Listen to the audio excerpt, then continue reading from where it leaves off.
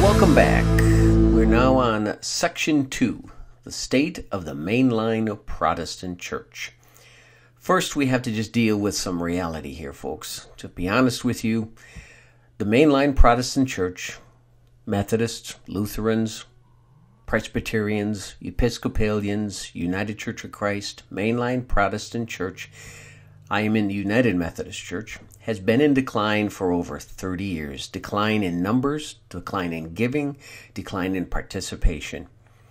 So let's be honest, we need some help in order to turn things around. The church is getting older by the minute. When I was a kid growing up, and I grew up in the Lutheran church, all, all you really had to do in the 50s and 60s was unlock the doors, turn on the lights, and people would come.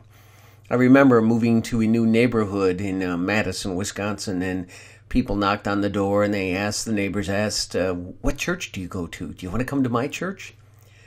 Now, today's people move into a neighborhood and there's so many things to do on Sunday. The question that is asked is, You go to church?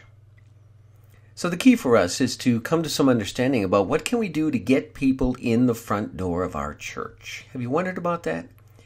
And then how do we keep them coming back next week and the next and the next?